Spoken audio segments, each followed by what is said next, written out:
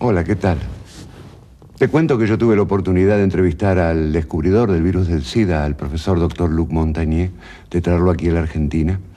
Lo vi hace pocos meses en el Instituto Pasteur de París. Se está trabajando intensamente en la vacuna, pero todavía no hay nada firme. ¿Sabes cuál es la única vacuna que existe para el SIDA? La prevención, el cuidarnos.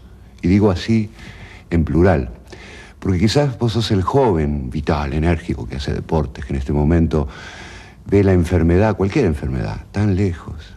¿Sabes que el SIDA puede ser una enfermedad para vos también? Cada vez que tengas una relación sexual, usa el preservativo. Para los drogadictos que se inyectan, yo no voy a ser moralista, el que no puede salir de la droga, que use sus propias jeringas y agujas.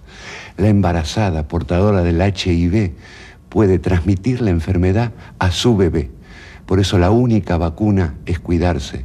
Aquí no importa ni la edad, ni el sexo, ni el color de piel, la inteligencia, el nivel social.